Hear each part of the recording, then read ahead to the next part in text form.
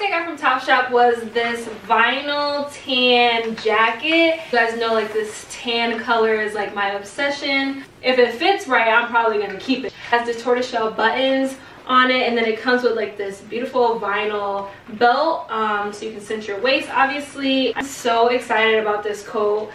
I don't know exactly what I will wear with it yet. I feel like jeans would look nice.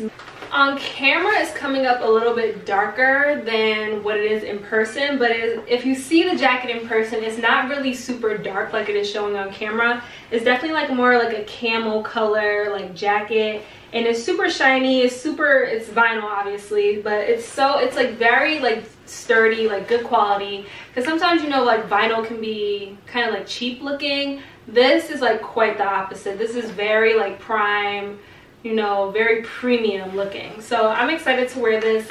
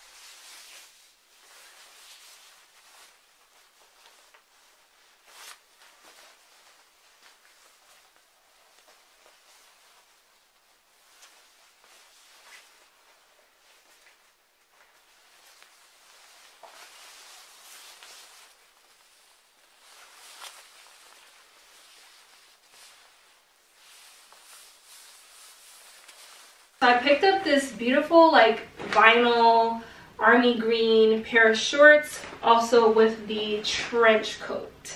So look how beautiful this is. Um, I've seen I've seen someone with this trench coat on Instagram before and I was like, oh my god, where did you get that trench coat? Like I'm super obsessed with vinyl. I picked up the shorts, which are like super short. and then I also picked up the trench coat.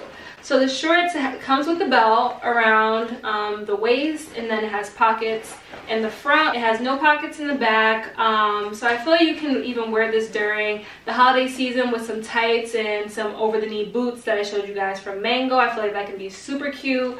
Um, and then the trench coat as well to go with it. The trench coat is super beautiful and I feel like I can get a lot of use out of the trench coat. Um, it comes with the belt around it. It comes with these black buttons, which I really do like. And then the belt also has like a black accent on it as well.